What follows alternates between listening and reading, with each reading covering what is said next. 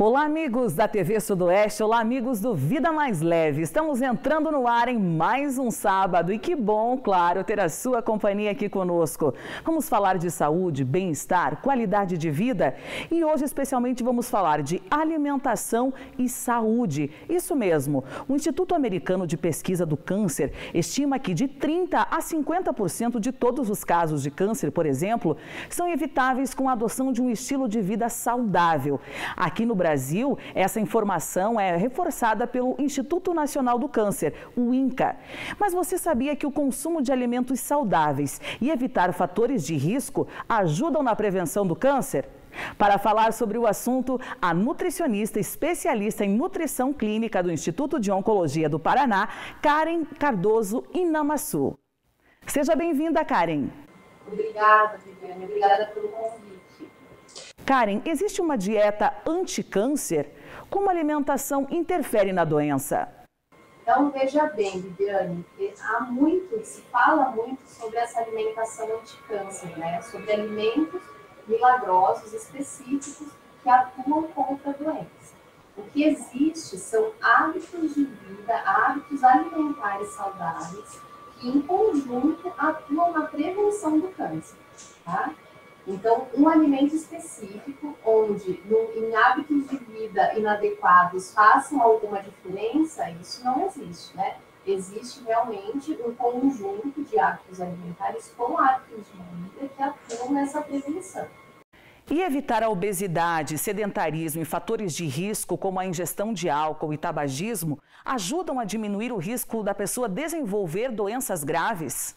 Com certeza. Hoje já se sabe que esses, essas, essas condições de saúde, de obesidade, essas condições de hábitos de vida, de consumo de tabaco, eles têm uma relação principal com a doença. Antigamente se falava muito sobre a genética com a relação com o câncer e hoje já se sabe que esses hábitos de vida, com impacto no aumento do, do peso, é, tem uma relação muito maior com a doença. O que seria então uma dieta saudável? Quais os alimentos devem estar presentes no nosso prato sempre? Então, o que não pode faltar é alimento de verdade. Hoje se fala muito sobre alimentos de verdade, né? O que, que são?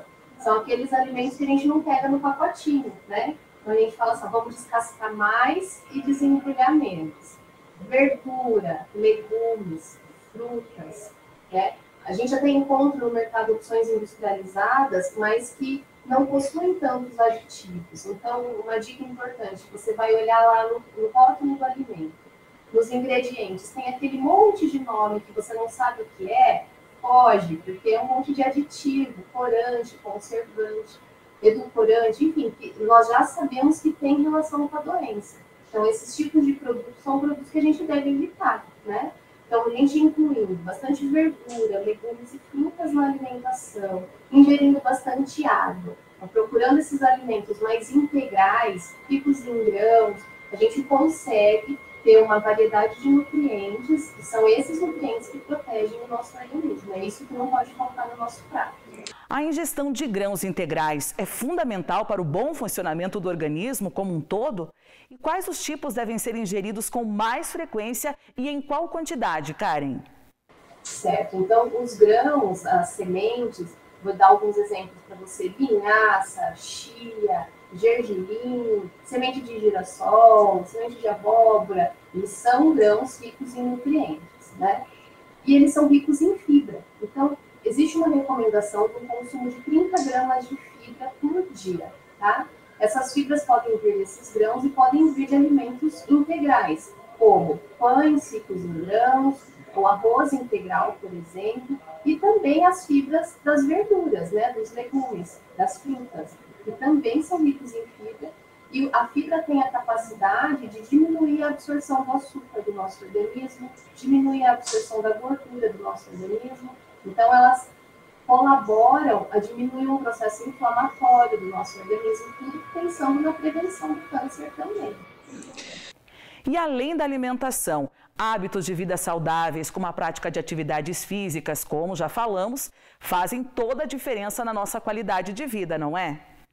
É hábito alimentar aliado ao hábito de vida saudável realmente, né? A prática da atividade física é fundamental e hoje ela vem junto com a nossa orientação, né? De trazer um profissional, um educador físico, para orientar essa atividade que deve ser uma rotina. Existe uma recomendação na CRA, pensando em prevenção do câncer, de uma realização de 150 minutos por semana de atividade física leve, né? É, então seria, vamos por segunda a sexta aí, é, 30 minutos por dia de uma caminhada, que já ajudaria na prevenção do câncer também. A adoção de uma alimentação saudável ajuda também no controle da imunidade. Hoje se fala muito dos alimentos fitoquímicos, que são antioxidantes e atuam no combate ao colesterol ruim e também na redução da pressão arterial. Onde podemos encontrar os alimentos fitoquímicos, Karen? Tá, então, esses fitoquímicos, eles conferem cor aos alimentos, né? Então, quanto mais colorida a alimentação, mais rico em nesses, é, mais rico nesses agentes antioxidantes elas serão, né? Então, por exemplo, é, o licopeno, que tem na cenoura, tem no mamão, que tem nos alimentos de cor laranja, eles são alimentos, são, são nutrientes antioxidantes, né, compostos bioativos que protegem o nosso organismo. A clorofila dos alimentos verdes, as antocianinas dos roxos, né, beterraba, as berries, cranberry, é, até assim, é, framboesa, morango, né, são antioxidantes, protegem as nossas células.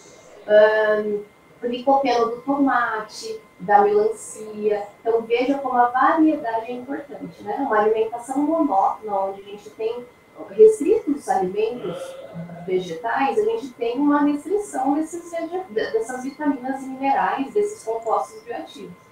A gente tem uma restrição também do cuidado das nossas células. Né? Então, quanto mais variada, melhor a, o cuidado, a prevenção também.